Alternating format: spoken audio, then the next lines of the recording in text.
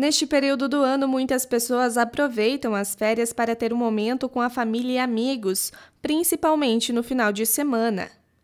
Tem gente que não abre mão de curtir uma piscina e vai neste recanto, na comunidade da sede Dom Carlos, interior de Pato Branco, como é o caso da Caroline.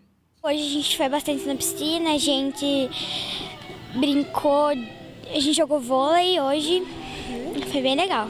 A dona Marli, além de aproveitar a piscina, também curtiu muito com a família. Estou gostando muito, estou amando ficar aqui nas piscinas, ter um lazer bom, para a gente curtir a vida.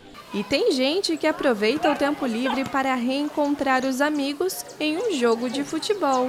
Traz os amigos para jogar um futebolzinho e curtir um pouco aí com a família? Sol, piscina, uma boa bebida e também uma carninha. Essa é a programação ideal e que muita gente escolhe para passar um final de semana mais agitado. No entanto, tem gente que prefere lugares mais calmos e este é o cenário perfeito para aproveitar o final de semana com muita tranquilidade. Sair do estresse do dia a dia, da cidade e ter um contato com o campo, para mim é o ideal ter um contato com a natureza, vir aqui, ficar no rio, mesmo que sentar na bordinha, né? Porque eu não sei nadar, mas ficar na bordinha do rio ali, se molhando, para mim é tudo. Desperta a criatividade, né? A imaginação, é mais calmo, como você disse.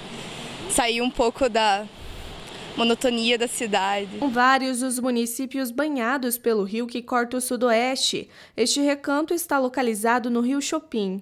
O local, que é marcado pela beleza da natureza, atrai turistas de Pato Branco e também de toda a região. Todo dia tem gente aqui, mas mais é o final de semana, é feriado, aí o pessoal vem mesmo. Na piscina, no futebol, na reunião de família ou no contato com a natureza, muito mais que o lugar, o importante é estar com aqueles que amamos.